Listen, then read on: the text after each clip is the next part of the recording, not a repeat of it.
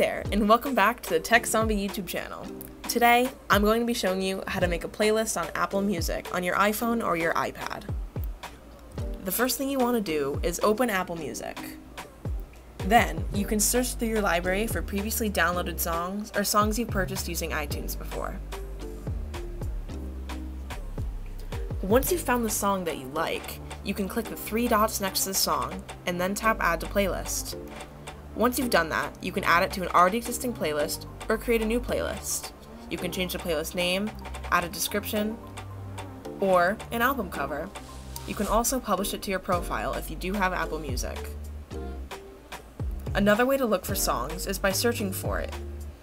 If you have Apple Music, you can search for the song by its title, artist, or the lyrics in the song. Once you found the song, do the same process.